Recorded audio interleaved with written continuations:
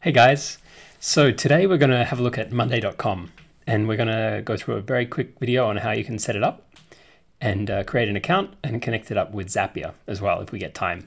So Monday.com is a platform that allows you to uh, keep track of projects and to create uh, very customized uh, tracking project dashboards, I guess you could almost call them.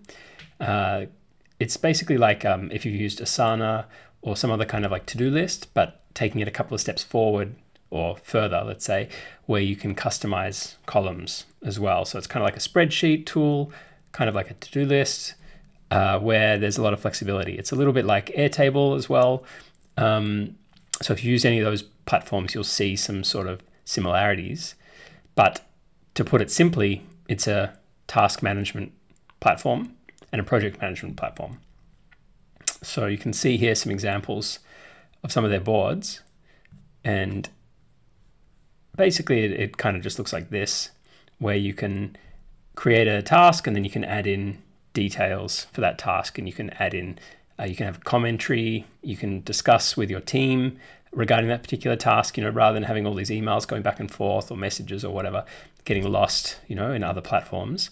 It's centralizing everything. It's a great it's a great tool and very good for small, medium sized businesses that are growing or, or medium sized, small, medium sized teams uh, in order to keep everything in one place and to have it in a, in a sort of a method that's quite easy for everyone to follow and suited to a regular kind of let's say regular kind of person not someone who's too technical necessarily or someone that has you know degree in project management but just regular folk that are working in your team or in your company.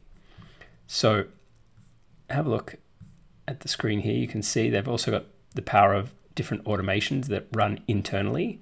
You know, and with Zapier, we can also tie it in to other platforms as well to trigger things.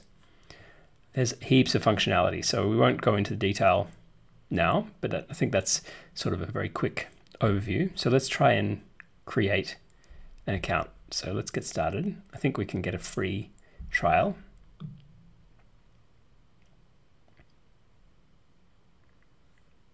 Wow, that's cool. So let's start by signing up for an account. I can type my, what am I doing? There we go.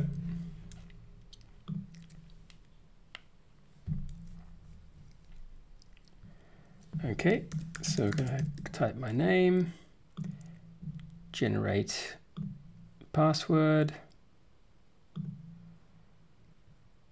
Good.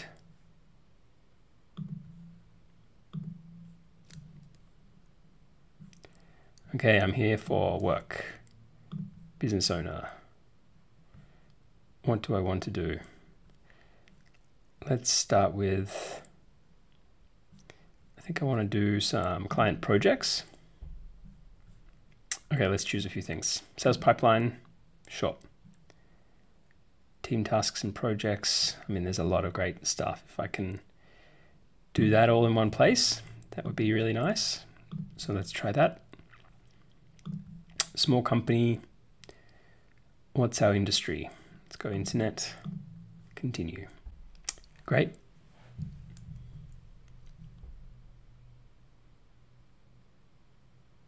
Cool. So we can also invite teammates, and I'll do that later and it opens up with some information to get started.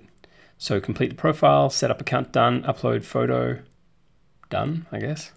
Enable desktop notifications, invite team members, complete profile, install mobile app. Cool. So we'll do all that later. Let's have a look over here. So we've got, I've got to uh, confirm my email address.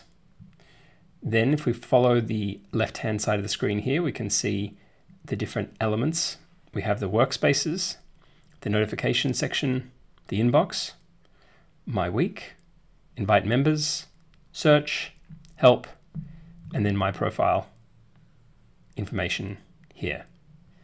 So this isn't an in-depth tutorial, it's just how to sort of kick things off. So I'll hopefully do some other videos to go into more detail in certain sections.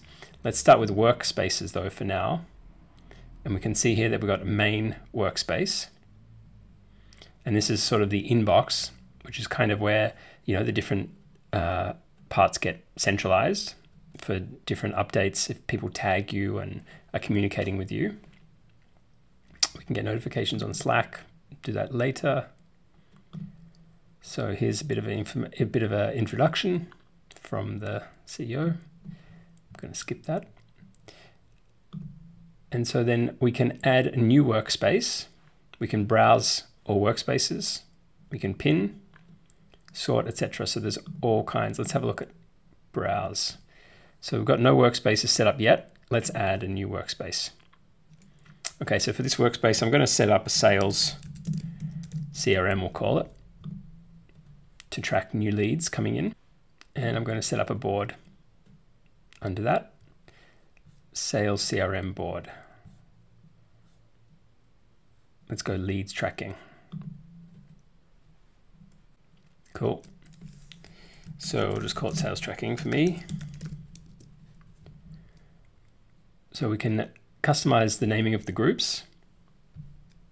I'm going to leave them as they are for now. We add an item here. And there's lots of learning to be done. So you can see here, it's very simple sort of setup, active leads, won, and lost.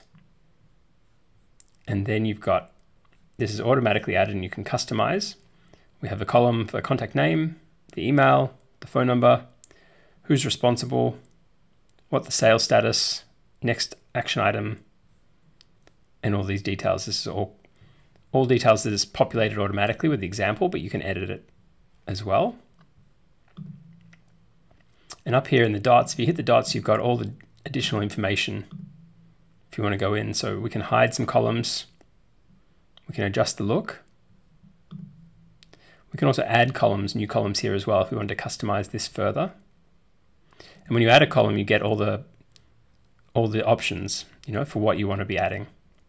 So if you want to change some of the details, you want to add more details, you can add it here as well. That's a very uh, quick sort of start into it. Uh, let me know what you think and what questions you have about Monday.com, and I'll do some more videos and go into a little bit more detail as well coming up. Okay, thank you so much for, for watching and look forward to seeing you in the next one. Cheers.